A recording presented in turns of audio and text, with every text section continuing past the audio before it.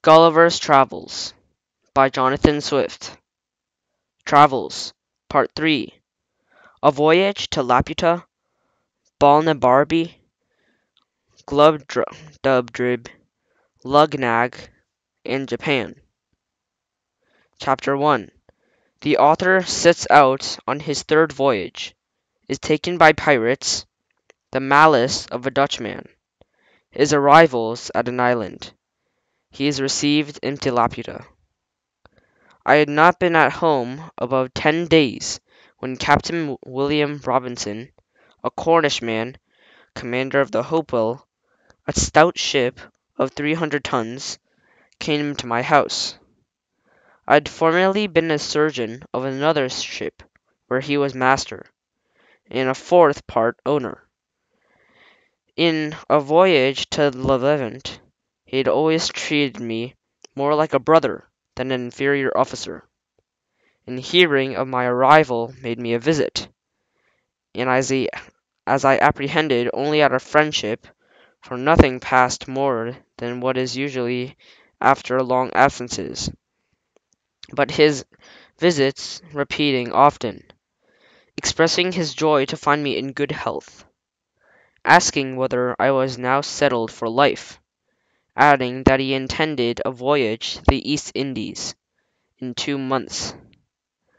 At last he plainly invited me, though with some apologies, to be the surgeon of the ship, that I should have another surgeon under beside me our two mates, that my Salisbury should double to be my usual pay, and after experiencing my knowledge in sea affairs to be equal to his, he would enter to any engagement to follow my advice, as much if I had a share of command.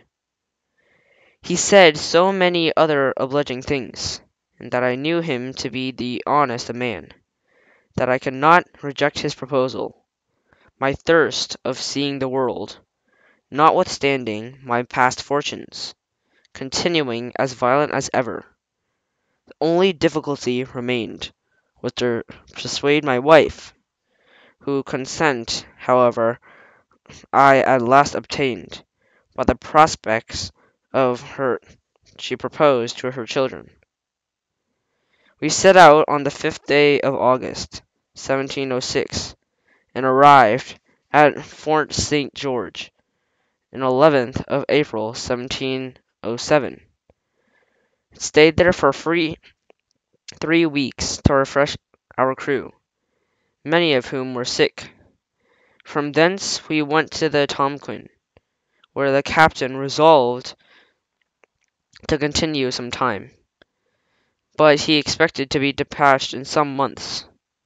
Therefore, in hopes to defray some of the charges he must be at, he brought a sloop loaded it with several goods, wherewith the Tonquinese usually trade into the neighbouring islands, putting fourteen men on board, whereof three were of the country. He appointed me as master of the sloop gave me power to traffic for two months, while he transacted his affairs at Tonquin. We had not sailed above three days when a great storm arising, when we were driven five days to the north north east, and then to the east, after which we had fair weather, but still was a pretty strong gale from the west. Upon the tenth day we were chased by pirates who soon overtook us, for my sloop was so deep loaden that she sailed very slow, and neither were we in a condition to defend ourselves. We were boarded about the same time by both the pirates, who entered it furiously at the head of their men, but finding us all prostrate upon our faces, for so I gave order, they pinioned us with strong ropes, and setting a guard upon us, and went to search the sloop. I observed among them a Dutchman, who seemed to be some sort of authority, though he was not commander of either ship. He knew us by our accountants to be Englishmen, and jabbering to us in his own language, swore we should be tied back to back, and thrown into the sea. I spoke Dutch tolerably well. I told him who we were, and begged him in consideration of our Christians and Protestants in neighbouring countries in strict alliance that he would move the captains to take some pity on us. This inflamed his rage, repeated his threatenings, and turning to his companions, spoke with great vehemence in the Japanese language, as I suppose, often using the Christianos. The largest of the two pirate ships was commanded by a Japanese captain, who spoke little Dutch, but very imperfectly. He came up to me, and after several questions, which I answered in great humility, he said we should not die. I made the captain a very low bow, and then turning to the Dutchman, and said I was very sorry to find more mercy in a heathen than in a brother Christian, but I had soon reason to repent those foolish words, for that malicious reprobate having often endeavoured in vain to persuade both the captains that I might be thrown into the sea, which they would not yield to, to after the promise made me that I should not die, however, prevailed so far as to have a punishment inflicted on me, worse than all human appearance than death itself. My men were sent by an equal division into both pirate ships, and my sloop new manned. As to myself, it was determined that I should be set adrift in a small canoe with paddles and a sail, four days' provisions, which the last Japanese captain was so kind to double out of his stores, and would permit no man to search me. I got down into the canoe, while the Dutchman standing the deck loaded me with all curses and injurious terms his language could afford. About an hour after we saw the pirates, I had taken an observation, and found that we were at a latitude of 46 north, and a longitude of 183. When I was at some distance from the pirates, I set up my sail, the wind being fair, with a design to reach the nearest of those islands, which I had made a shift to do in about three hours. It was all rocky. However, I got many bird eggs, and striking fire I kindled some heath and dry seaweed, which I roasted my eggs.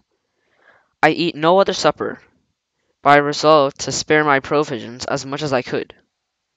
I passed the night under shelter of a rock, throwing some heath under me. I slept pretty well. The next day I sailed to another island and thence to a third and fourth, sometimes using my sail, sometimes my paddles. But to not trouble the reader with a particular account of my distress, let it suffice that on the fifth day I arrived at the last island in my sight, which lay south south east to the former. This island was at a greater distance than I expected and I had not reached it in less than five hours. I encompassed it almost around before I could find a convenient place to land in, which was a small creek, about three times the wideness of my canoe. I found the island to be all rocky, and intermingled with tufts of grass, and sweet smelling herb. I took up my small provisions, and after having refreshed myself, secured the remainder of the cave, whereof were great numbers. I gathered plenty of eggs upon the rocks, and with a quantity of dry seaweed and parched grass, which I could design to kindle the next day, and roast my eggs as well as I could, for I had about my flint, steel, and match and burning glass. I lay all night in the cave, when my, I lodged my provisions. My bed was the same dry grass and seaweed which I intended for fuel. I slept very little, for the disquiet of my mind prevailed over my weariness, and kept me awake. I considered how impossible it was to preserve my life in so desolate a place, how miserable my end must be, and I found myself so listless and desponding that I had not the heart to rise. Before I could get the spirits enough to creep out of my cave, the day was far advanced. As I walked a while among the rocks, the sky was perfectly clear, and all of a sudden it became obscure, as I thought, in a manner very different from what happened by interposition of a cloud. I turned back, and perceived a vast opaque between me and the sun. It seemed to be about two miles high, and hid the sun six or seven minutes, but I did not observe the air to be much colder.